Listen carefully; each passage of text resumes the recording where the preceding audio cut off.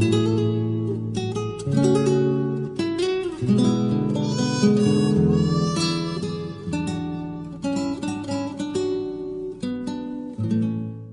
Pues estamos colocando los claveles a la Virgen de las Lágrimas y al Cristo crucificado, porque estos claveles, tanto los blancos como los rojos, pues son los que se entregan a los hermanos. Los blancos se entregan a los hermanos que participan en la procesión, al acabar el sacerdote los bendice y se entrega un clavel blanco, los hermanos de honor y el hermano de honor y el hermano de turno son los encargados de, entregarlos a cada una de las personas que salen en la procesión. Y los claveles rojos son los claveles que se entregan a los hermanos difuntos, porque la Hermandad del Silencio, los difuntos no causan baja, nunca. Siempre mantienen su número y con los que después de procesionar por las calles de Alcañiz y ser bendecidos, mañana a las 10 de la mañana vamos todos al cementerio y allí en un acto muy emotivo y muy bonito que se les hace, pues se les entrega a todos los familiares los difuntos para que los puedan depositar en sus tumbas.